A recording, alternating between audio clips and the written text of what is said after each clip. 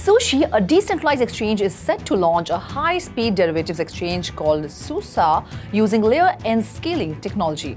The platform aims to rival centralized exchanges by processing over 100,000 transactions per second with milliseconds of latency.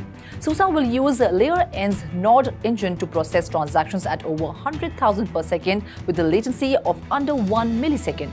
The collaboration with layer N's StateNet framework will allow SUSA to offer various trading possibilities such as perpetuals, spots, and exotic markets while allowing developers to create bespoke applications. SUSA's roll-up node debut is expected in testnet form in the first half of the year. EigenLayer, a liquid restaking platform, has become the fifth largest protocol in decentralized finance after $4.3 billion in fresh inflows over the past 10 days. The increase in inflows is attributed to EigenLayer's removal of its staking cap on February 5th and the closure of the liquidity staking window on February 10th.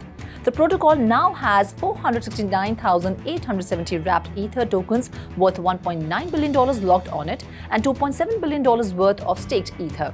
The surge in total value locked is mirrored across the DeFi sector, with the total amount of capital locked on DeFi protocols standing at $71.2 billion, the highest point since June 2022. Decentralized finance total value locked has seen a 22% surge over the past two weeks, reaching $68.99 billion. On February 13, the TVL reached a 20-month high of $69.35 billion, last seen in mid-June 2022. Lido Finance leads the list with a TVL of $25.71 billion. EigenLayer, the rising DeFi star of 2024, has seen a six times TVL increase over the past six weeks, rising from $1.1 billion to $6.5 billion. Ethereum remains the top DeFi protocol with a TVL of $40.95 billion, followed by Tron with $8.79 billion. Solana flipped Ethereum in terms of decentralized exchange volume, reaching $1.46 billion on January 31st. However, Ethereum gained the top spot on February 2nd after Solana's DEX volume dropped below $900 million.